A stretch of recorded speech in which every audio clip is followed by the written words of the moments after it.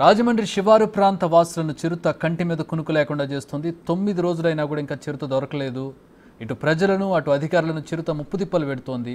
నిన్న trap కెమెరాకు ఫోటోలకు pose ఇస్తుంది కానీ చిరుత బోన్కు మాత్రం చిక్కడం లేదు. బంధించాలని చెప్పి స్థానికులు డిమాండ్ చేస్తున్నారు. చిరుత బోన్ వరకు వస్తుందని బోన్ లోపలికి వెళ్ళడం లేదంటున్నారు అటవీ అధికారులు. వీలైనంత త్వరగా చిరుతను పట్టుకుంటామని శివారు ప్రాంత ప్రజలు అప్రమత్తంగా ఉండాలని చెప్తూ ఉన్నారు ప్రస్తుతం దానికి సంబంధించినటువంటి విజువల్స్ మనం చూస్తూ ఉన్నాం. ఆ విజువల్స్లో మనం చూడొచ్చు చిరుత ట్రాప్ కెమెరాస్ ఏర్పాటు చేశారు. ఎక్కడికక్కడ చిరుత తిరుగుతున్నటువంటి ప్రదేశాల్లో ఆ ట్రాప్ కెమెరాస్లో మాత్రం క్యాప్చర్ అవుతుంది చిరుత. కానీ ఆ బోన్స్లో మాత్రం క్యాప్చర్ అవ్వడం లేదు. ఆ బోన్ల దగ్గర వరకు వెళుతుంది. అక్కడ లోపలికి వెళ్ళడానికి మాత్రం చిరుత సందేహిస్తూ వెనక్కి వెళ్ళిపోతున్నటువంటి దృశ్యాలు మనకు కనబడుతూ ఉన్నాయి. ప్రస్తుతం ట్రాప్ కెమెరాలకు చిక్కినటువంటి చిరుత ఫొటోస్ని మనం చూస్తూ ఉన్నాం. మా ప్రతినిధి శివశంకర్ జాయిన్ అవుతూ ఉన్నారు. ఎక్కడైతే చిరుత తిరుగుతూ ఉందో అటవీ ప్రాంతం నుంచి అక్కడ ఎలాంటి చర్యలు తీసుకున్నారు ఎట్లాంటి జాగ్రత్తలు తీసుకుంటున్నారు అటవీ అధికారులు అనేది తెలుసుకునే ప్రయత్నం చేద్దాం. శివశంకర్ చిరుత బోన్ వరకు వెళ్తుంది బోన్లోకి వెళ్ళడం లేదని తెలుస్తోంది. నిజంగా చిరుతను పట్టుకోవడానికి తగిన ఏర్పాట్లు చేశారా? ప్రజలు ఏ మేరకు అప్రమత్తంగా ఉంటున్నారు ఉండడానికి అవగాహన ఏ విధంగా కల్పించారు అటవీ శాఖ అధికారులు?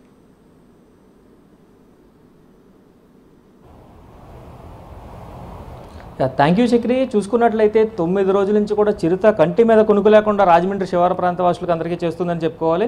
ఈ నేపథ్యంలో చూసుకున్నట్లయితే అటవీ శాఖ అధికారులు మైక్ అనౌన్స్మెంట్ ద్వారా కూడా ఆరు తర్వాత ఎవరు బయటికి రావద్దంటూ కూడా దివాన్ చెరువు లాలా చెరువు స్వరూప్ నగర్ తారక నగర్ ఈ ఏరియాలన్నీ కూడా శ్రీరాంపురం ఇట్లాంటి ఏరియాలన్నీ కూడా ఏదైతే ఆర్ఎఫ్కి ఏదైతే రిజర్వ్డ్ ఫారెస్ట్ ఏరియాకి ఆనుకుని ఈ ప్రాంతాలన్నీ కూడా ఉంటాయి ఈ ప్రాంతాలన్నీ కూడా చూడొచ్చు.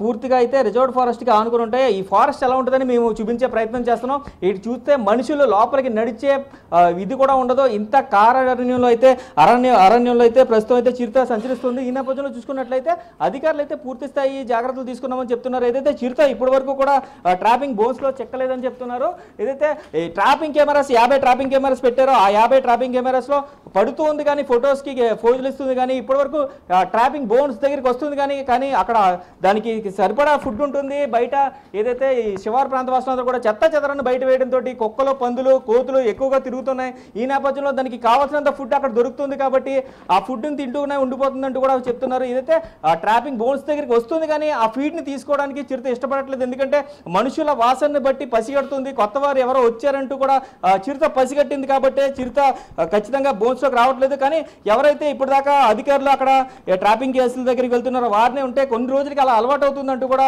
అలవాటు అయ్యి అప్పుడు ఆ బోన్ లోపలికి వచ్చి ఫుడ్ని తీసుకునే అవకాశం ఉండేటప్పుడు బోన్ కేసెస్లో చిక్కుతుందంటూ కూడా ఇప్పటికే అటవీ శాఖ అధికారిని భరణి తెలిపిన పరిస్థితి కనిపిస్తున్నాయి అయితే శివార ప్రాంత ప్రజలందరూ కూడా లైట్స్ ఆన్ చేసుకుని ఉండాలి టార్చ్ లైట్లు పట్టుకుని తిరగాలి చేతిలో కొంచెం కర్రలు మెయింటైన్ చేయాలి సింగిల్గా ఎవరో బయటికి వెళ్ళొద్దంటూ కూడా ఇప్పటికే అటవీ శాఖ అధికారిని భరణి చెప్తున్న పరిస్థితులు కనిపిస్తున్నాయి చక్రి.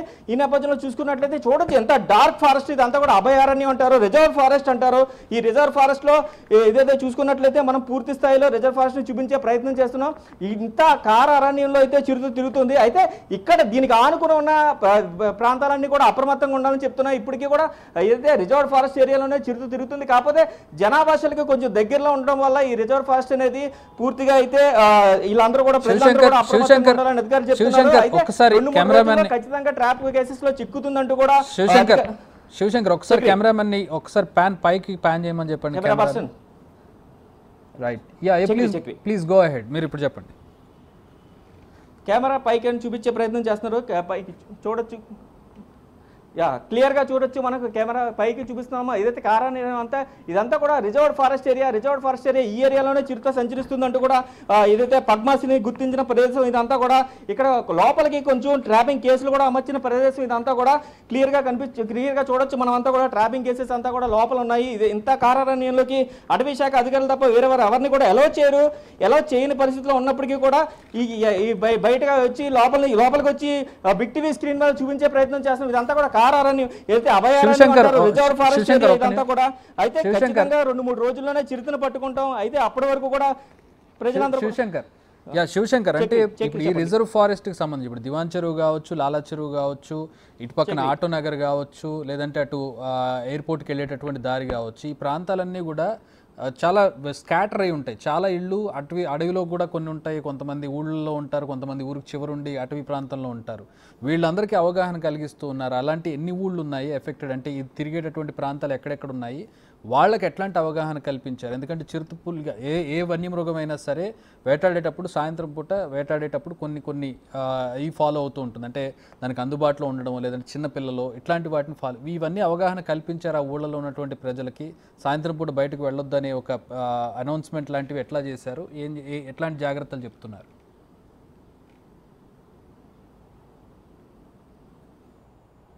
యా చక్రి చూసుకున్నట్లయితే అదే అటవీ శాఖ అధికారులు డైరెక్ట్గా మైక్ అనౌన్స్మెంట్ అనేది అయితే ఇప్పటివరకు ఇచ్చున్నారో. అయితే పూర్తిగా ప్రజలకు అవగాహన అవగాహన కలిగిస్తున్నారు. ఆరు తర్వాత ఎవరో బయటికి రావద్దు. ఏదైతే గుమ్మం ముందు ఉండే ఏరియా ఉంటుందో ఆ ఏరియా అంతా కూడా ఖచ్చితంగా లైట్లు ఆన్ చేసి పెట్టుకోండి. ఎందుకంటే చీకటిగా ఉంటే కనుక చిరుత అక్కడ ఏదో మనకి సేఫ్ ప్లేస్ అనుకుని అక్కడికి వచ్చి చేరుతుంది కాబట్టి లైట్లు అంతా కూడా ఇంటి చుట్టూ కూడా లైట్లు పెట్టుకోవాలంటూ కూడా అటవీ శాఖ అధికారులు ఇప్పటికీ చెప్తున్న పరిస్థితి కనిపిస్తుంది. ఈ నేపథ్యంలో సచివాలయం అధికారుల ద్వారా కూడా పూర్తిగా అవగాహన కలిగించేలాగా వాయిస్ మెసేజ్లు కూడా ఇస్తున్నారు. ఈ నేపథ్యంలో చూసుకున్నట్లయితే ఇంకా రెండు మూడు రోజుల్లో అయితే ఖచ్చితంగా పులి ఆ ట్రాపింగ్ కేసెస్లో వస్తుందంటూ కూడా అటవీ శాఖ అధికారిని భరణి ఇప్పటికీ తెలిపిన పరిస్థితులు కనిపిస్తున్నాయి. చక్రి. సో ఏంటి అంటే ఏమి పట్టుకోవడానికి ఏర్పాట్లు ఏం చేశారు? ఎందుకు చిరుత అక్కడికి రావట్లేదని? వాళ్ళ వాళ్ళ అంచనా ఏంటి? పది రోజులు అవుతున్న ఎందుకు చిరుతను పట్టుకోలేకపోయిన దానికి సంబంధించి వాళ్ళకొక వివరణ ఉంటుందిగా? వాళ్ళు ఏం చెప్తున్నారు?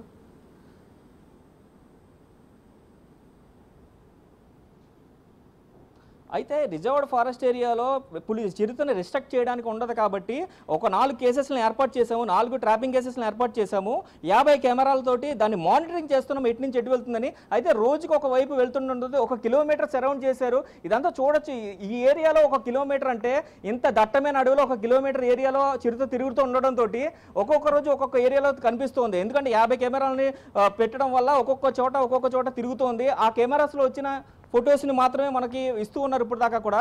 అయితే నిన్న ట్రాపింగ్ కేసెస్ పెట్టిన దిశను అయితే కొంత మార్చారు. రెండు ట్రాపింగ్ కేసెస్ని అయితే వేరే చోటకి ప్రదేశాలకి మార్చాము. ఖచ్చితంగా అక్కడ ఆ బోన్ దగ్గరికి నిన్న వచ్చింది.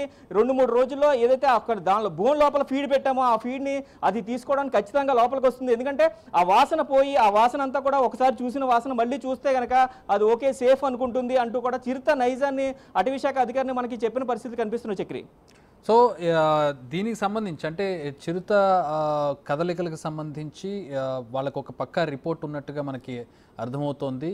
సో మనం కూడా బిగ్ టీవీ తరపు నుంచి ఒక అంటే కొంత ఇన్ఫర్మేషన్ ఇవ్వాల్సి ఉంటుంది. అంటే చిరుత పులి కానీ లేదంటే ఏదైనా పులి లాంటి జంతువు వేటాడేటప్పుడు తనకి అందుబాటులో ఉండేటటువంటి ఎత్తులో మాత్రమే వేటాడుతూ ఉంటుంది. మనిషి ఎత్తుగా నిలబడి ఉన్నప్పుడు వాళ్ళ మీద వేటాడే ప్రయత్నం చేయదు కాబట్టి పిల్లలు సా చిన్న పిల్లలు చిన్న వయసు ఉన్నటువంటి పిల్లలను మాత్రం బయటకు పంపకుండా జాగ్రత్తలు తీసుకోవాలి ఖచ్చితంగా. ఈ చిరుత ఎక్కడైతే తిరుగుతుందో ఆ ప్రాంతాల వాళ్ళందరూ కూడా. So thank you very much Shivashankar. Thanks for the updates so అది రిజర్వ్ ఫారెస్ట్లో పరిస్థితి. రాజమండ్రి శివారు ప్రాంతం అయినటువంటి దివాన్ చెరువు ఆ చుట్టుపక్కల ప్రాంతాల్లో ఉన్నటువంటి అటవీ ప్రాంతం రిజర్వ్ ఫారెస్ట్ కానుకొని ఉంటుంది ఈ ప్రాంతాలన్నీ కూడా. ఈ రిజర్వ్ ఫారెస్ట్ తూర్పు కనుమలకి కనెక్ట్ అయి ఉంటుంది. అటు పాపికొండలు కావచ్చు మారేడుమిల్లి కావచ్చు ఆ ప్రాంతం అంతా కూడా దీనికి అటాచ్ అయి ఉంటుంది. సో బహుశా అటు నుంచి చిరుత ఇటువైపుకి ట్రావెల్ చేసి ఉండొచ్చు. అక్కడ ఆహారం దొరుకుతూ ఉండడంతో కుక్కలు కావచ్చు ఇతర పందులు కావచ్చు ఇతర చిన్న చిన్న జీవాలు దొరుకుతూ ఉండడంతో చిరుత ప్రస్తుతం అక్కడ మకాం వేసినట్టు కనబడుతుంది మనకి.